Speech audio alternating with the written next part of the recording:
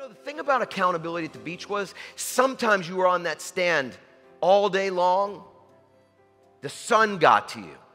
You got distracted, or the sun was in your eyes, even. And all of a sudden, there'd be another lifeguard that came out of nowhere and ran a rescue right in your water. And yeah, was it embarrassing? Yes. Did it ding our ego a little bit when it happened? Sometimes somebody else was a little bit more paranoid than you were.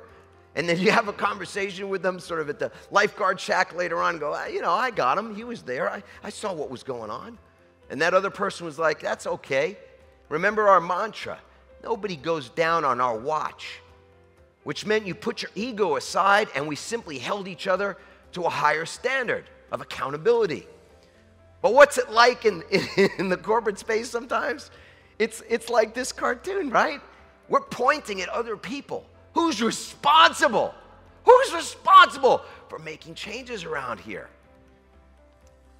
I'm a baseball fan and I love this picture. This is one of the three games I think that the Padres won this particular year. And, and I love it because you can see the balls like right there in the middle, and these guys are going, Who's responsible? Whose job is it to catch that ball? Wasn't my job. Whose job is it to pick up that paper in the hallway? I used to walk down the hallway in our office, and sometimes I would see paper on the floor. And once I walked into a senior leadership meeting holding that piece of paper, and I said, Whose job is it to clean this up from our beautiful hallway? And a smart person on our team said, It's a janitor's job. He comes in at night, you know, that's his job. He cleans up all the paper. And I said, You're right.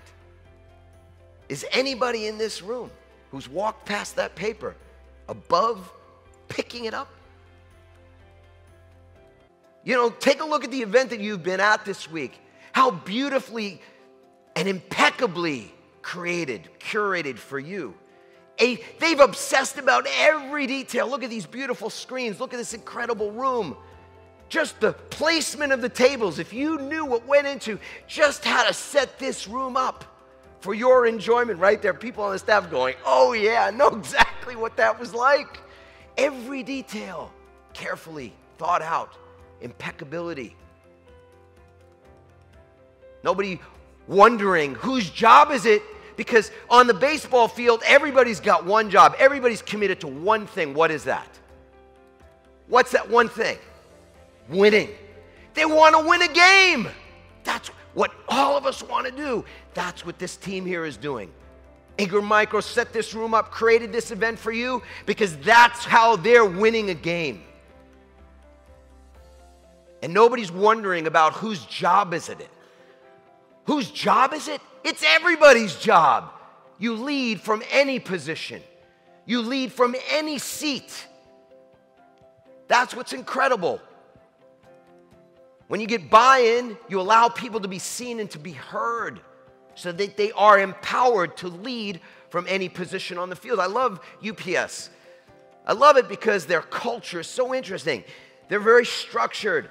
They have rules for everything where they put their keys, how they put their keys in the ignition, how they open and close the door, the clothing that they wear. All of that is routine. And yet, they empower their drivers just to do what it takes to deliver a package. So when Hurricane Andrew decimated Florida, what were UPS drivers doing? They were delivering packages to people in their cars in their cars.